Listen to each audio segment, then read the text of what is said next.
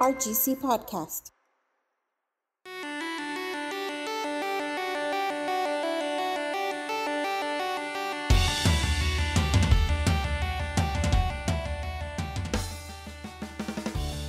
Hello, Rio Grande City, and welcome to the RGC podcast. My name is Becky Rubio, And I'm Melinda Gomez. and we're joined by Joel Villarreal, mayor of the great city of Rio Grande City. Uh, it's awesome to have you here today, Mayor, and uh, thank you for coming by. We, we just want to uh, sit down with you and have a conversation and just, you know, have you tell us a little bit about yourself and let Rio Grande City know more about their mayor. Absolutely. Certainly look forward to, to this conversation by all means. And uh, congratulations on, on starting this initiative, which I'm sure is going to be uh, a hit, no doubt. We hope. We no, no, it will be It a will. hit. It's It going will to be.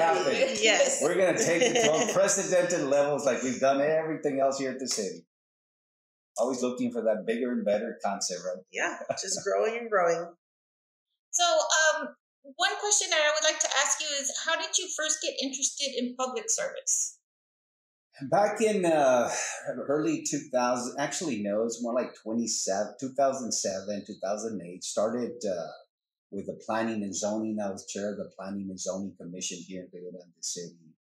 And also the uh, building standards and renewal board, uh, which we were looking at, of course, dilapidated buildings. And how do we start that, uh, in a sense, getting rid of some of these buildings or, or upholding more standards? Really, it comes down to that because as a municipality, you need to have codes.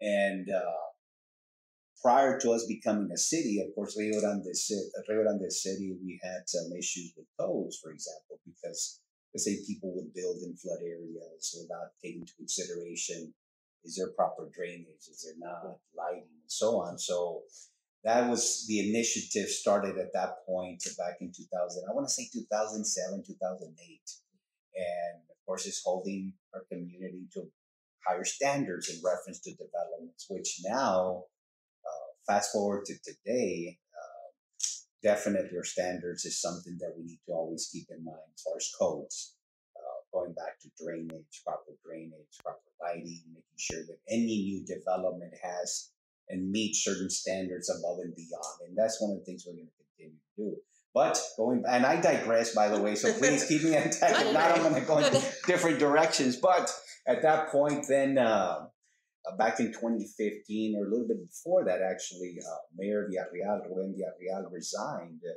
And then there was an opening for that unexpired term. And at that point, I had already been serving for several years as a chairperson for Planning and Zoning Commission and uh, Building Standards and Renewals, and then decided to throw the name in the hat at that point. point and well it was a great uh, experience and it's one of the things about experiencing new things and definitely uh, throwing the name in the hat for a mayorship uh, glad we did that and uh, fast forward to today now here we are you know several years later.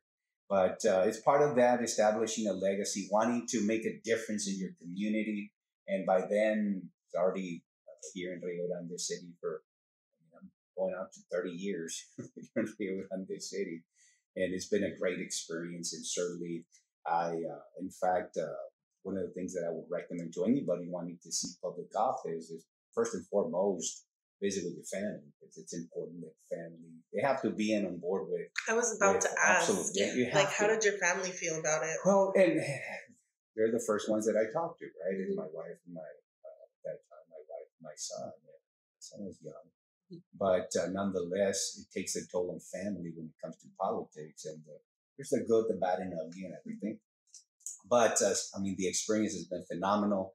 But absolutely, you need to have first and foremost family, a blessing, family, right? Because they're going to be impacted by by this, by the service as as mayor. And uh, at that point, we're on, and to this day, we're still on, on board.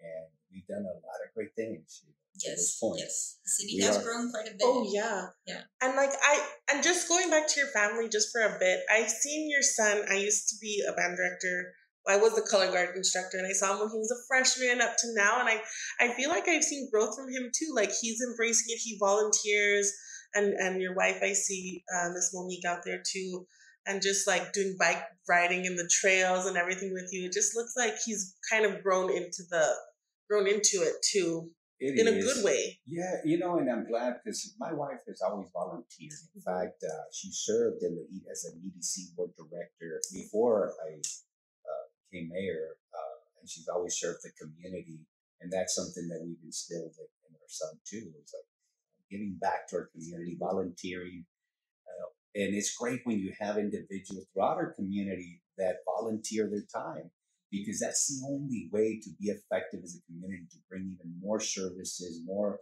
improving the quality of life Mhm. when individuals are willing to give back in some way, shape, or form. And especially young kids, you know. So I love to see when we had that Easter function not too long ago. I had quite a bit of Yeah. kids, and also for the rain dash, we had Oh, some yeah. volunteers there too. And it's wonderful to see. So going back, yes, he has embraced it, and uh, in fact, the trails are wonderful. That's Uh-huh. another thing that I I love. I do love to get out there and, and do the trails. Of course, gotta be careful because some of those are challenging. Yeah. You know, uh, Yeah. Turns and and uh, and let's say forty five degree angles in some cases. You know those drops, but but it's been wonderful. So yes. I'm glad that he's been embracing that and uh, service, you know, service to others, and uh, which goes back to the same concept that they were willing to do that uh, and allow us the opportunity to to venture into the mayorship role, which uh, has been exciting, has been exceptional, has been learning experience too, and uh, I'm glad that we're at this position. Um, what do you see as one of the biggest challenges that faces our city today? Right now, it, it truly has been How are we working to address it? I I'm know, sorry. right? I was like, I let me finish that real quick. the uh, growing. We are in a position where we are growing out of our seams, which is great. But at the same time, we need to make sure we plan for as far as traffic, planning to make sure we have enough of everything, including, including safety and security, which comes with more coverage as an area, more services, and as it, we all know, especially smaller municipalities, we might not, we don't have the financial resources that larger municipalities might enjoy. So we have to make ends meet, right? And safety and security, having law enforcement, firefighters, uh, or staff, and having to make sure that we have enough that staff to accommodate for the expanding city and growth and services that come along with it. And but we're this point, I'm glad that we have wonderful staff in Rio Grande City that see that vision. They're wanting to grow with with us and wanting to expand and, and give back to our community in a sense because providing these services, we're providing uh, opportunities uh, for individuals to want to come back, to live, to work, and to forge that American dream here in Rio Grande City. And uh, I wholeheartedly believe in that. And slowly we're getting there. And so the challenge is providing enough water for everyone and water Yeah. pressure those those things that that are part of of a growing municipality but we have to make sure that we're planning not just for tomorrow but for the next 20 30 40 years which uh, when i leave this position is moving on the torch to someone else Mhm. is at the end we all know that uh, it's one of those moments where we serve and then at some point there'll be the next generation. So you hope that you leave this a better place for someone else to take on that that torch and, and create even you know next to the next. Every commission and i truly believe in this where you build upon each other. So we build based on what was previously done. And then the next generation will build on what we've done thus far and take us to the next level. And you hope that that's the case right? Right. and uh, leave everything in place for that, which we are. And I, we are in an excellent position. It's incredible where we're at today compared to, keep this in mind, I mean, 1993.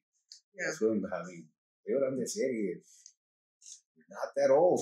Considering, younger than uh, me. I, was born in 91. but we are in an exceptional position where we're at today compared to where we were not too long ago. Mhm.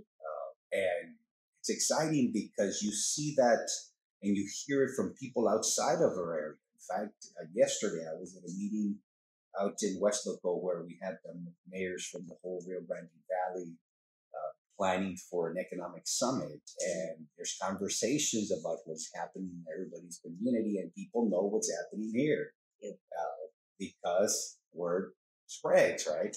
And even more so to have this type of, of uh, podcast, and that continues to grow that, right? So it's exciting times, exciting times for all of us. Oh, yeah. And our residents, of course, community that we serve. Um, what what do you see um, for the future for Rio Grande City? Wow, it is. Uh, well, let's start off. For example, the St. Ives development. Well, you know what? The St. Ives development that is transformative, and we're still in the first phase. We just started the second phase of it which the first phase you're looking at restaurants, next phase is a retail, and then the uh, light industrial and hotel hospitality there, which there should be construction very soon. Uh, that development uh, within the next five to six years it will be fully complete. Uh, the same thing with uh, warehousing and cold storage. We are getting warehousing and cold storage in preparation for this whole concept of nearshoring, meaning that we're gonna the U.S. is gonna slowly start getting away from the China concept, where we're depending so much on China, but but uh, we'll be moving more towards Mexico, Canada, and Central America, which means that uh, we're gonna have a lot of traffic through this area, trade and commerce coming through our ports of entry. Uh, in fact, our small bridge here, two lane bridge, uh, you're talking about billions one billion dollars a year in trade that comes through this bridge. Over a 1000000000 mm-hmm. Now that's going to go even further, and of course, once we establish the uh, routes here, and of course the warehousing, cold storage, that's only going to. Which goes back to the traffic and managing traffic through our area too, right? Uh, the medical residency program. In fact, our medical residency program here in Rio Grande City, it's another transformative development. It's going to transform a region for generations to come, not just Rio Grande City, but La Luis, Juarez, Roma, Mexico, Zapata, they'll be visiting this center because you're looking at 45 acres of medical development, including the research and orthopedics and a portion of the medical residency program in a small rural community in South Texas. I mean, to have something like this, it's one of the few in the nation of, of a population this size. And uh, in fact, the first cohort begins uh, July 2024. We're going to have the first cohort of medical residents here in Rio Grande City in 2024. And it is affiliated with A&M, Texas A&M University. So uh, it's wonderful, again, for our community to, going back to some of the challenges, is having the med- serving and uh, the needs of the community, particularly in medical. You know, we're gonna slowly we're getting to the point where the majority of our medical needs will be serviced here in Rio Grande City or Starr County, not necessarily have to go elsewhere. Mm-hmm. So that medical development is huge. That uh, and that's one of the things that uh, we still haven't publicized it that much, right. but this is huge for our community, for our county, when you're looking at a medical residency program in a small rural community, As one of the few in the nation. Typically, this you see in larger municipalities with half a million people or a million people, uh, or over 200 and some 50,000 people. So we're in a good place. So, I mean, there's just so much going on. And uh, it's part, it's, it's great to be part of this. Yeah is it's exciting. But we all had something to do with it. It's a collective effort of multiple individuals and entities making this happen. But I always believe in that concept that if you roll in the same direction, you're going to have that mutual, you know, that common goal, that mutual direction, that what's greater good for the community. At the end of the day, you're going to roll in the right, in the same direction and get things. Right. right. And then I think, like going back to the medical development, I mean, that's going to help so many people. Like I have to take my grandmother to McAllen or to Brownsville or my grandfather to the VA in Harlingen or McAllen. And we even have like the VA coming with the van here to Rio um, once a week to like service our community here. So that would even help and alleviate those. That is, uh, you hit the nail on the head there because now you have these services that can be provided here locally and not have to make a trip elsewhere. Plus, having easy access here and having at some point the uh, the specialized services, mm-hmm. even more specialized as we continue to grow it. And it's happening.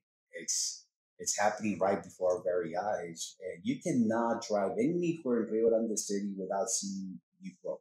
Mm-hmm. It's happening, it's right. And uh, but again, it's an effort of so many people and entities, organizations, and the private and public sectors mm-hmm. coming together for something. And it's all connected, and every facet has something to do with whether it's the medical community, the educational community, the legal community as well, and, and you go down the list, government, uh, because, uh, for example, the school district, they uh, went out for some bonds and are building as well, the Victoria Performing Arts Center. And the same thing with the medical community is expanding, and our business community is growing. And uh, in fact, we're in an excellent place uh, when you're considering where we're at today, it's just it's an amazing time to be living here, and then only for the future, you know, because the idea is that eventually you have more people wanting to come back and have the resources here, have the jobs here too, and that way they can come back and live here and stay here and buy their houses and contribute to the economy and you know, just uh, connecting the dots. Yeah. That's the goal, right? Like this is our home, and we yeah. need to make help it thrive. Make it better, and we can The point is that we have a lot to offer. When you consider what we have to offer here, it's incredible. I mean, you're looking at you know, Starr County is becoming a premier energy powerhouse. You're looking at millions of dollars in uh, wind and solar power, looking at two international bridges, billions of dollars in trade and every conceivable commodity and service. Destination anywhere USA, you know, mm-hmm and then you continue with our uh, our uh, say safety and security. We have a very safe community. When you're looking at our binational, bicultural, bi bilingual identity that serves as our strength, we have a strong and young workforce. As I was mentioning, our business community keeps expanding. Yeah. Uh, our medical community, same thing, and then our educational. We have South Texas College, we have UTRGV here, and now this medical development oh, yeah. and and uh, we're looking at, at, the cost of living is below the national average here as well. Yeah. Uh, so you add all those factors, and then plus have easy access to a ranch if you want to go right. and uh, ranching, let's say, and then at the same time have the historic appeal here, have beautiful historical buildings, mm-hmm. and then plus the modern amenities as well. So in a sense, you can be out here five minutes, you're at a ranch, in five minutes you're back in town. You want to visit historical buildings, here they are. If you want more modern amenities, they're going to be there too, and they already are. So in a sense, it's, it's best, best of both worlds. Best of all worlds, really. Yeah, Absolutely. So yes, there's so much that we have to offer, and I'm glad that we're in this position, and and uh, it's exciting. Okay, well, Mayor, you've made our job very easy. Yeah. well, then you add something else. Yeah, you know, go ahead. For example, when you're looking at, you mentioned about when I first became mayor, that was back in 2015. And at that time, actually inherited a negative budget of $389,000. So we were at $389,000 in the hole in a sense. Mm-hmm. We were insolvent, meaning that, of course, the that uh, it's hard to repay our own debts. And where we're at today is it's a night and day when you're considering, and of course at that time having to tighten the belt and having to readjust how monies are spent and so on. Slowly we've been uh, to the point where we're at today. Our fiscal responsibilities and kudos to our commission for uh, being strong fiduciaries and, and absolutely you need to make sure the finances are in the up and up for purposes of grants and so on, right? Your finances have to be in a good position, and we are. When you're considering where we were in 2015, not too long ago, to where we're at today, seven, eight years later, now uh, looking at our fund balance, best in the history of Rio Grande City. When you're considering sales tax revenues, best in the history of Rio Grande City. I mean, our assets best in the history of Rio Grande City. So when you're looking at our financial profile today compared to 2015, which is not too long ago, we, I mean, it's it's an exceptional story of growth and prosperity and making sure that we're all on the same page to to be in the position we're at today. Uh, even you know this year, for example, January, historical high for ta- uh, sales tax revenue. This this January, February this year, same thing. March of this year, same thing, historical highs. April of this year, historical high, and I anticipate this May being the same thing. Why? Because we're in a position where all the planning is finally paying, coming to fruition and paying off. And uh, it's a great story to tell. I mean, keep in mind that, for example, the, the whole paradigm shift of we have to look at things differently. Why not? Why can't we have all these amenities? Why can we not have a, a medical residency program here? Then it's possible. Why not? Well, let's make it happen. How do we make it happen? The same concept with, and I, and I bring up the story with Starbucks because it uh, symbolizes a paradigm shift of how people thought, and, and some people, not everyone. The idea that we could not afford to have a Starbucks here, that nobody would come in and coffee here in Rio Grande City for some reason, or it was too expensive, or whatever. The stories were there's yeah, no way a Starbucks yeah. would make it. Right. I, I've gotten remarks from people that are from here, but they don't live here, and they're surprised that wow, Starbucks? you have a Starbucks. You have a Chick Fil A. Yeah, exactly. and it's kind of like, well, why not? Like we're we're a growing community, and you know these are things that our community look for, um, so that way they don't have to drive out you know, exactly. just for that, you yeah. know? Exactly the point, uh, which first day sales, first week sales, exceptional. We, mm-hmm. I mean, they did better than some markets that have larger mm-hmm. populations. Mm-hmm. And to do that here, that only shows the power of, of the individuals and the spending power and people wanting to have those things too. So, and, and you go there and there's all lines of but it only symbolizes, you know, it kind of encapsulates the symbolism behind that. It's, it's much more than just the Starbucks, right? It's the concept that why can't we have these good things here, right? Mm-hmm. And people are willing to support them. Same thing with with uh, our Marshalls, for example.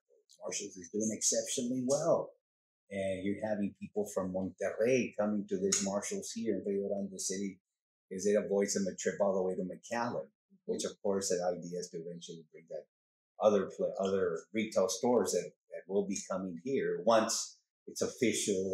right. Yeah. And I'm glad so, that you said that too, because I think there's just so much, um, like there's so many misconceptions, like, well, well, we need more things and we need this and right, like we're getting there. Like it's not something that we can just boom, it's all there. It's like a plant. Like you have to plant the seed, put the water in, and I think that's what we're doing. Well, it's strategic, right? And right. the idea that every move is strategic. You have to lay the infrastructure first and foremost. Are you going to have enough water and pressure for all this development? Mm-hmm. So we need to invest, uh, and we have invested millions of dollars in infrastructure in the last few years to support and sustain all these developments, right? Because if you don't have it, then so it's been a work in progress. And then, well, for example, the retail, I mean, the restaurants first. Okay, so you do the restaurants. And now the next phase, which will be the retail and the hospitality and the light industrial. Uh, but it's all, as you mentioned, it's strategic. It's not just a, no, you know, it takes planning, it takes uh, mm-hmm. time, it takes money. Uh, and the right combination of individuals that are willing to invest Exactly. And that's going back to the public private partnerships where you have government entities getting together with the private sector and say, okay, what can we do to build, you know, work, which is a perfect example of this medical development, mm-hmm. a, a public private partnership. The same thing with St. Ives. Because the bottom line is one entity can't do it by itself. I mean, it would be hard for it would be hard for us to develop anything simply by, by ourselves. What I mean by that is that we have to pool our resources and make things happen, whether it's through grant monies, whether it's through like USDA, EDA grants. Uh, same thing with partnering up with the schools, for example. And all right, you know what? Why don't we do this? Which has been the case. Uh, same thing with the county. Same thing with the hospital. Same thing with whether it's the colleges, South Texas College or UTRGV, uh, or the private sector, which in this case is DHR Health here with that new development. And it, but it's all connected, and we're in an excellent position, and I cannot stress that enough where we were not too long ago, 2015, where we're at today, uh, it's been phenomenal. And I can only see that going further. I mean, we're going downhill, you know, in the sense, and we don't have any brakes on. We're just gonna take it. And, and I, you know, just symbolism behind that. Right.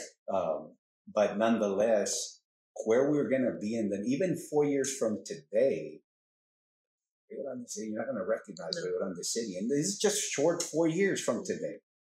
Uh, once that new medical development is up and running, and then the completion of St. Ives, and then the warehousing and cold storage, and I mean just those three, for example, and then go on with everything else. you know, you're having a, a lot of development and uh, new housing, and there's other opportunities that are coming as well that still working. There's always something new. You know, it's like okay, so we already did that. Okay, what's the next best thing? Okay, what else are we going to work on? And there's several others that once it's solidified, I mean, it's like solidified, it's going to be wow. So we are in an excellent position, and uh, I cannot stress that enough. That short four years, you know, that when people come in, they'll be wow, and as they already are, right? Right. But yeah. even more so, uh, you know, that old concept of just getting started type of Mhm. thing, and, and we You are. heard it here first, folks. we are. We're just getting started and we're growing. And these, going back to my plant analogy, it's like we're seeing the sprouts, we're seeing our first little flowers come out, and it's just the beginning. Like we have a whole garden to go.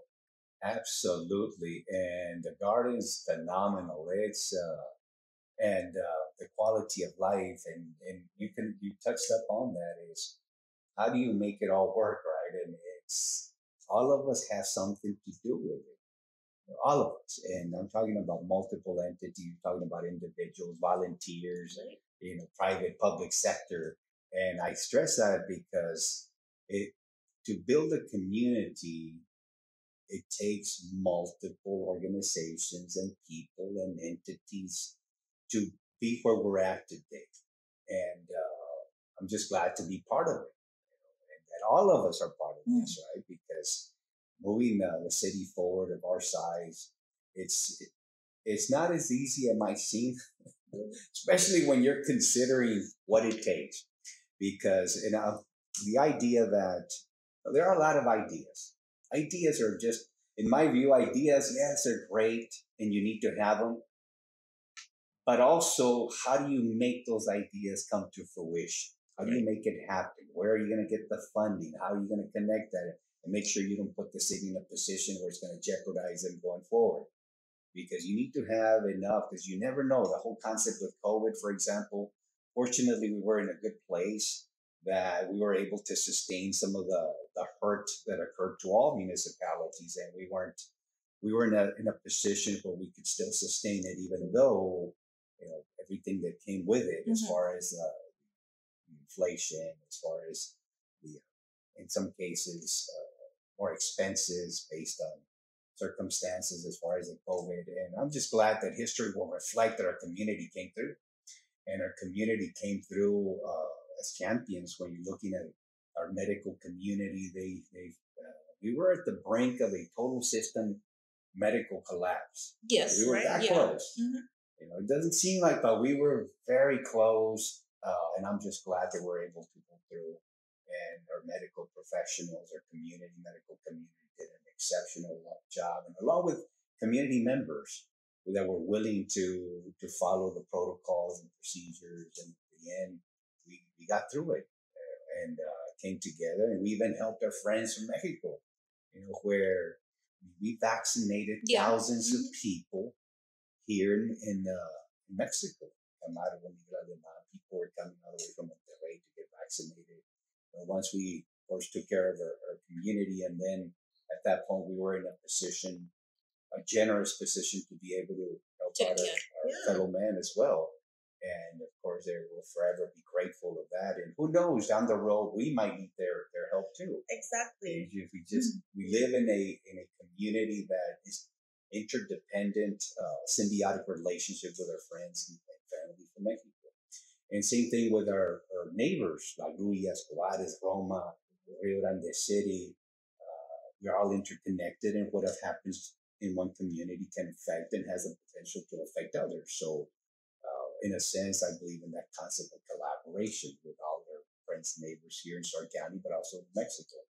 And our the medical facility will benefit everybody, like including everybody in Escobares, Roma, even Zapata. Absolutely, Zapata, and even Western Hidalgo. Yeah. I end up here, uh, and part of that too is keep in mind that the first cohort you're looking at eight medical residents. I mean, these are already doctors, right? Mhm. Coming into your community, and uh, you're looking at six. 60% of residents will end up locate or relocating to that within the 35 30 mile radius which meaning means that hopefully a lot of these doctors will end up staying here too right Right. Yeah. because we need to make sure we grow our own and, and uh, recruitment of doctors is critical and why because you need to have medical professionals in your communities so that serves of a, a dual function there too yes you have this Right. program you have all these services but at the same time you have an opportunity to have some of these doctors stay here in our lo- in our area and in a sense it's a form of recruitment and uh, so I mean, even if it's one per year that, that you're able Right. to recruit, uh, it's, it uh, prolongs that, that idea that we have all these medical services here too and afford it as opposed to having to go elsewhere. And going back to how do you make it attractive to stay in your community too? Well, you need to have the good schools, you need to have access, to have quality of life, you Right. need to have amenities there too. So it's all interconnected, and we've been able to focus on all facets of our city the quality of life, the medical, the educational, the, the uh, safety and security. Right. People want to live in safe communities, and we we happen to be in a good position where we have it all in a sense. Right. Uh, yes, there's a lot of work to be done, and got to recognize the fact that we have a lot of work to do. And it never ends. It's never going to end, which is good because, in a sense, you're always having to pave streets. You're always going to have to focus on, on traffic and safety and and issues that happen because, after all, you're going to have water break Well, lines. yeah, and you're going to have a maintenance because you know everybody's using all these um, or facilities or equipment or or structures or infrastructure, and it just needs maintenance because you know we're growing community, we're increasing, you know, members or people passing through, and and it that's just the everyday, uh, everyday to everyday that a city has to to manage. Exactly. And how do you make it all work? Which is where you have wonderful staff to make that Yeah. happen day in, day out, you know. Uh, and having that vision that, hey, we are servicing others. And in a sense, we're in the business of serving others. You know, all of us serve somebody else at some Right. different capacity. Right. Whether you're a teacher, you know, whether you're a police officer, whether you're a manager of a business, I mean, you name it, you're servicing others because we're all uh, interdependent on others and so on. Uh, and which is, in a sense, it makes the city grow and it makes the city be a better place to live, to work, and again, to live that American dream. And we, uh, we are living in great times and certainly laying the foundation for the next generations to to move the city even further. Who knows where we're going to be in 40 years, you know, 50 years. I won't be here, but nonetheless, you know, the next generation, where what are they going to bring to the table and look at Rio Grande and say, wow, or Starr County as a Right. whole and where we were and where we're at, where they're going to be at that point. And, uh, but it's possible. Right now, of course, we're working on the airport. So I want to see that airport expand down the road where you see more planes coming in, landing, whether it's uh, private jets or, or uh, even the 727s at some point. So we need to expand that. but uh, there's a lot of work to be done. But it's but at the same time, it's rewarding because you're seeing the fruits of your labor right there in front of you for everyone to see and everyone to to recognize that it's happening, uh, which you have to drive, you know, not even a few minutes and you're seeing it. You know? Right, right. You know, you're seeing it right before your very eyes. So I'm just again glad to be part of this this growth and prosperity, and uh, where we're at today. It's, it's again incredible, and I cannot say that enough. I'm sure I've already repeated myself, but nonetheless, because it, it is, it's a wonderful opportunity for all of us to to live in a wonderful, thriving community. And uh, yes, by the way, on the other, I would like to see more recreational here too, whether it's the bike trails or it's having access to the river, uh, whether it's for just fishing. Or, and we are working with Mexico to uh, help with uh, security and safety on the other side as well. Uh, I, of course, the we were talking about previously of a golf course potentially here with walking trails and so on. So all that is is uh, is a possibility, and uh, it's just a great time.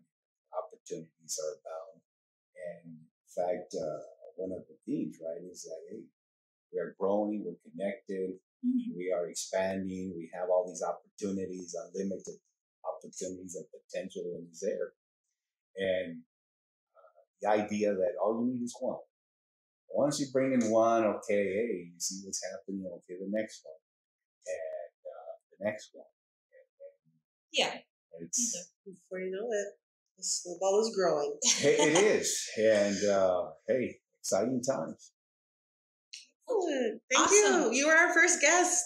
Yes, thank you for being our first guest. Absolutely. Um, you are more than welcome to come back again. Yeah. Uh, this won't be our, our only no, will not episode. be our last. We'll be reaching out also to the commission and all our directors. administrators and directors. Mm-hmm. And I mean, our city has so much information um, and activity that we want everyone to be aware of. Yeah. Uh, all the work that goes into um, into the city, into municipality, and all the people that that work behind the scenes and in front of the scenes and behind the scenes, yeah. and you know, just to let people know that we're here to work for them. I think that's important because as we all know, there's some people that don't think we're working for them. but we're here. We're here. Like we really. This is our home. Like this is our home. We want to see it grow. We want to see it thrive, and we're trying. We're going. We're going. You know, no matter what, uh, there's going to be criticism, and that's okay. Yeah. Criticism is fine. Uh, and in some cases, yes, there's some truth to it. Okay, so you get that information based on whatever the criticism is. And sometimes it's, it's not, it's simply to, the easiest thing to do is tear anything down oh, yeah. or tear any person down. Is how do you build that? How do you create it? How do you have constructive mm-hmm. uh, criticism in a sense? Okay, so you know what? Uh, we could do this better. Okay, uh, how are you going to do it? Versus just to tear something down. So you yeah. Mean? But uh, you know, again, that's a dime a dozen in some cases. Others, it's very few. Uh, but nonetheless, the point is that it's good to have criticism by all means, and I'll accept it uh, because there are some things we can do better. And, and but the good thing is that we're willing to, and we're gonna get there. We know we gotta pave new streets. I mean, because yes, it's gonna happen. Or work on water tanks. The only thing is, how do you coordinate it all to make sure that we fit all those needs? But it just not might it might not be on the same year. Right. It's later for it's next year. Process. It's a process. It's a process because yeah. we simply do not have. I mean, it's like even having your own home. There's times that you cannot do all. all yes. All, I mean, in one year, you know, there's you know, this year I'll go ahead and work on the fans. Uh, next year might be a roof. Next year, you yeah. know, and little by little you get there because there's no way you can afford to exactly. an expense like that, especially considering you have all these other expenses as well. But same thing with the city. So, so planning, planning is critical. You need, we need to strategize and plan to where this year we are able to focus on this. Next year we're going to be able to spend it more on this. All at the same time, taking care of the employees too, because you cannot afford to lose employees either, right? So how do you find a way to make that happen too? And then again, the safety, security, and fire, and police, and, and streets, and lighting, and drainage, uh, and the quality of life. And so, uh, and that's part of the process where you have to be a good planner because if not, uh, I mean, it's just not feasible to work on everything at the same time. And the needs are there. Needs, I mean, they're, again, a dime a dozen. There are needs. We all have needs. How do we start to satisfy certain needs and prioritize which ones benefits the community the most and then you continue with that. So anyway, it's all in, and like I said, I can digress into many things. we'll be here so, all day. absolutely. No, There's just so much. It, it's uh there you know, is. in fact when I have the prayer breakfast, uh, mayor's prayer breakfast, and there's times that you know just there's so much that is happening in Rio Grande City that I don't of course I can't talk about it all right. because there's just great things that are happening. And uh, I would love to highlight it all, but like you said, we would be here all day. You know? Yeah. but uh, nonetheless, thank I, you so much. Thank you. I think it, I think this is great. Like I feel like people will, hopefully, our listeners will get a sense, a little bit more of a sense of how things kind of work in a municipality, and just know that the message they take away from this is that like we're working on it. We're coming. We're going. But it's a process, and just know that we're getting there. We're going to get there. Talking about that, uh, when we uh, first uh, St. Ives project, right? Mm-hmm. And the first phase, you're talking about the restaurants, right? Yes. And of course, what are some of the comments? Ah, pura comedera. Yes. we like, hey, more restaurants. Yes. The other, you know, it's in phases. You know, first phase is a restaurant, yes. next is a retail. You know, just keep and that in mind. We're already seeing the retail. I mean, oh, Marshalls yeah. we have already coming in, and Tractor Supply is relocating to a larger oh, facility. Oh, yeah. There, you know, more and, centrally located yeah, too. So yeah. it's just, uh, you know, we have there's other ones coming in also, and and once they're ready to announce that they're going to be here, then you know the city will be making that announcement. And um, again uh, mentioned. It's just it it's a process and it takes time. One of I'm sorry. No, I was just gonna say patience. You know, yeah, yeah, it's, just it's coming. It's gonna happen. yes, it is. But but it's you know the idea that people are excited to see all these things mm-hmm. and the curiosity of what's coming next. That's great to see too, right? Because there was a time that uh, there was a time when people didn't anticipate that something like this would happen. But now that it's there, it's like, you know what? We also need this. Yeah. and we also need oh. that. Oh, okay. So the, biggest comment that I see, like anytime we have a grand opening, is like, when is Target coming? Mayor, can you tell us when Target's coming? Oh. You're like, no, I can't say anything. I don't know. What I can say is we are in conversations with many franchises and individuals. And, and uh, it's one of those where definitely don't want to get ahead of it because right. there's a lot of negotiations that happen as a result, you know, incentives and this and that. And but once it's official, absolutely, uh, you want to announce it. But before that, I, am leery about you know, oh, mentioning it. Yeah, of course, of course. Like, hey, you said this was going to happen, and didn't. Well, you know, so I'd much rather just right keep it. Uh, but yes, there is a, there are a lot more opportunities that are going to be here, and, and yes, once we're ready, we'll definitely make those announcements. And yes, there's rumors out. There are rumors out there, and yeah. okay, part of it that's that's fine. Uh, but it's exciting that people now and are anticipating and are, are the curiosity that other things can happen here, which was not the case not too long ago. Right, right. And it's like I don't know, I could not see or envision that that could actually happen here. But now that it's happening, it's like, hey, you know what? bring us a Target or bring us a mall or bring us like, Yeah. uh, well, let's let's you know one step at a time.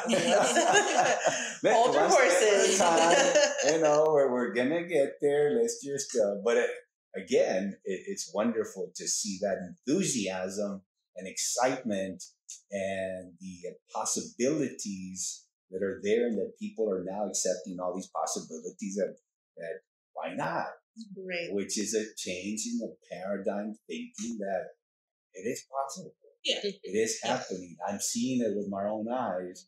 Which that old concept, ah, I'll see it, I'll believe it when I, see it, right, yeah. right? And I remember several people mentioning that to me. Okay, well, it's there. Okay, Yeah. so You can see it. you're seeing it every single day. You know, another brick is going up, and uh, which uh, on both. I mean, you're talking about the west side of town, the east side of town, and here centrally located as well.